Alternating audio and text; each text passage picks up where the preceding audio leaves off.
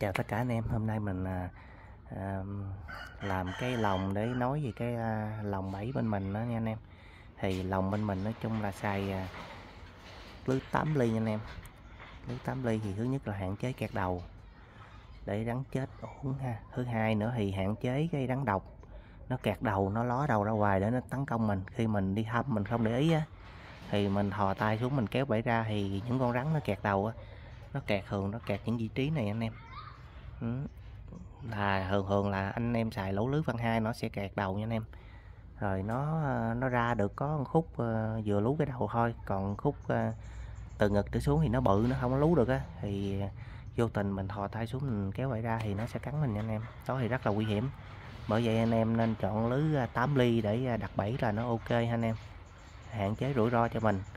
Rồi hạn chế kẹt đầu, chết rắn ổn ha anh em thì đó, thì anh em nào cần lòng bẫy rắn thì cứ liên hệ mình. Mình có lòng bẫy rắn kích thước đủ nha anh em. Nói chung là từ 4 tấc trở lên tới 9 tấc nha anh em. Cái lòng của mình bự nhất là 9 tấc rộng một, tấc 2 cao một tấc 2 cái lòng cỡ đó là bẫy được rắn cỡ 5 kg 6 kg nha anh em.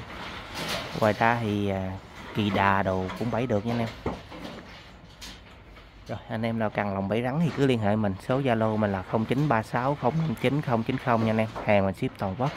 Chào tất cả anh em nha.